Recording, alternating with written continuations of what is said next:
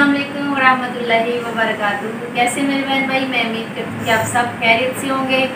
अल्लाह ताला आपको खुश और आबाद रखे। इसी दुआ के साथ आज की वीडियो शुरू करती हूँ। तो वीडियो शुरू करने से पहले आज मैं अपने तमाम बहन भाइयों को ईद मुबारक कहती हूँ। आप सबको दिल की गहराइयों से ईद मुबारक हो। बहुत बहुत ईद मुबारक। माशाल्लाह ईद के लिए मेरी बेटियाँ तैयार हो चुकी हैं बिल्कुल। ये देखें शूज़। बहुत ही प्यारे लग रहे हैं इनके। बहुत प्यारी सेंट फिजा जान इधर देखो। हाँ जी ईद मुबारक नहीं बोलोगे? ईद मुबारक ईद मुबारक ईद मुबारक ईद मुबारक। तो जी मेरे बच्चों की तरफ़ से भी सबको ईद मुबारक और मेरी तरफ़ से दोबारा से फिर से ईद मुबारक क्योंकि आज ईद का दिन है तो खुशियाँ शेयर करने से खुशियाँ बढ़ती हैं। बेटे खड़े होके दिखाओ ज़रा अपने अपने ड्रेस। देखिए जी, मेरी बेटियों के ड्रेस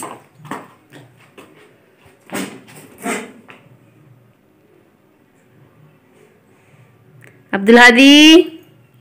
अब्दुल हादी के भी माशाल्लाह बहुत प्यारे प्यारे ड्रेसेस हैं। हाँ जी, ऐसे। तो जी, कुर्बानी का माशाल्लाह पहला गोश्त आ चुका है हमारे घर में।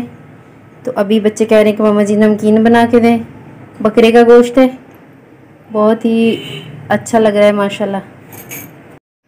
गोश्त मैंने डाल के रख दिया प्रेशर कुकर में। इसमें सब्ज़ मिर्च और प्याज और अदरक और लहसुन का पेस्ट। और नमक डाला है सिर्फ़। अभी मैं इसको प्रेशर कुकर में प्रेशर दूँगी तकरीबन तकरीबन दस मिनट का। जी, दोपहर का खाना मेरा हो चुका, बिल्कुल तैयार। नमकीन गोश्त मेरा बहुत ही ज़बरदस्त मज़े का बना है। बहुत ही ज़बरदस्त। रोटियाँ भी मैंने बना ली हैं। और अभी बच्चे कुछ सो रहे हैं कुछ जाग रहे हैं देखते हैं कि हेलो फिज़ा हेलो फिज़ा तो जाग रही है। और जी इधर अब्दुल हादी और बहना सोई पड़ी हैं। और सैरिश बेटी जाग रही है। तो जी अमरजश बेटी सोई पड़ी है। चलें जी अभी इनको उठाते हैं।